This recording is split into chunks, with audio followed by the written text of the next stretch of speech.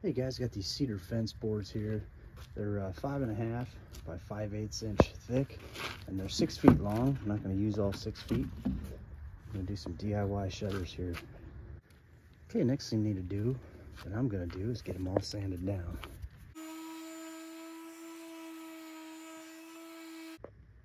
Okay, I'm going to go three wide per side. Okay, I've got the three boards laid out. I'm going to use these DeWalt clamps to clamp them up. First I'm gonna make sure they got equal spacing in between them. I'm gonna use these paint sticks. Okay, all this is is just a rough test fit right now, just to make sure that the gaps are how we want them. But now I'm gonna go ahead and cut them to length. All right, for the cross members, I'm gonna cut one of these boards in half, which is this one here. I'm gonna rip it right down the center. Okay, I want these to be exactly right. So these are five and a half, five and a half exactly. So half five and a half is 2.75. So I'm gonna set this to 2.75.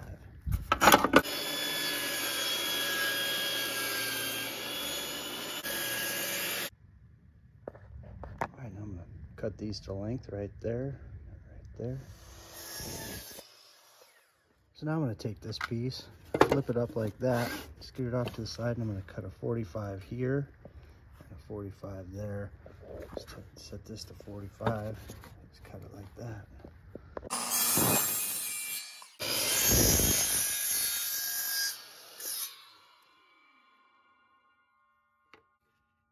Sand it all up.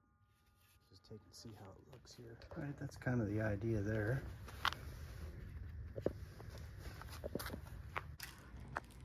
All right, now that I got the pieces cut that I'm gonna want, I'm gonna go ahead and, and unclamp this and then cut these long pieces to 48 inches and then sand these two pieces down. All right, so I made a mark right there at 48. Now what I did is I clamped them all three together.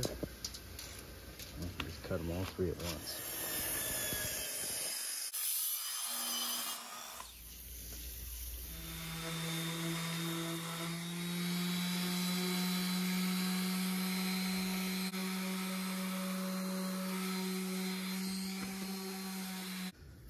There's the sanded one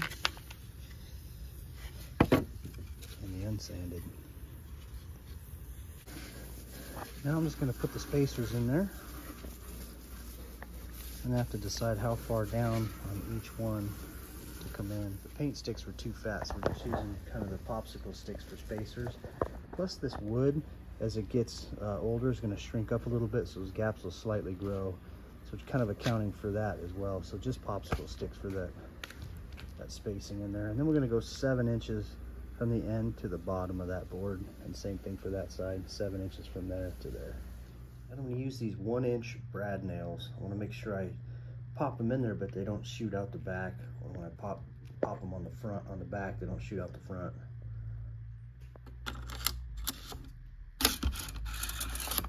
These are 18 gauge.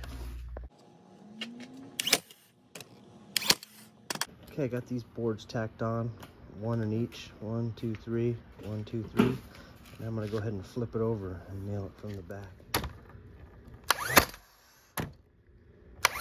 Kind of do them at an angle too. It'll help lock it in there a little bit.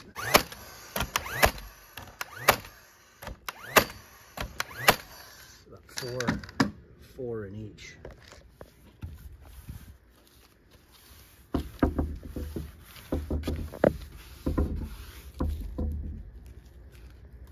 Using the Valspar one coat exterior clear seal sealer.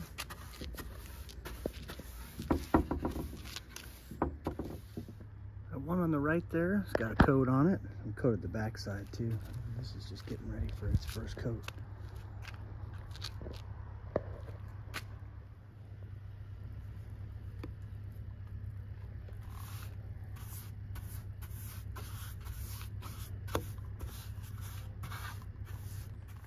Here's the screws that I'm going to use to screw this to the house.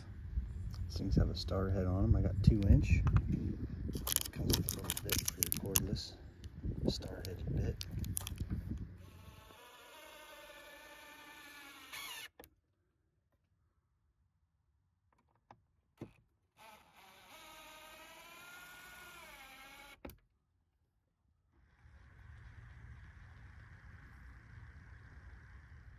Got these things here for decoration for the outside of them.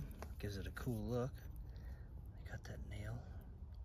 You just push them in or pound them thing that's nice about these is they cover up your installation holes too.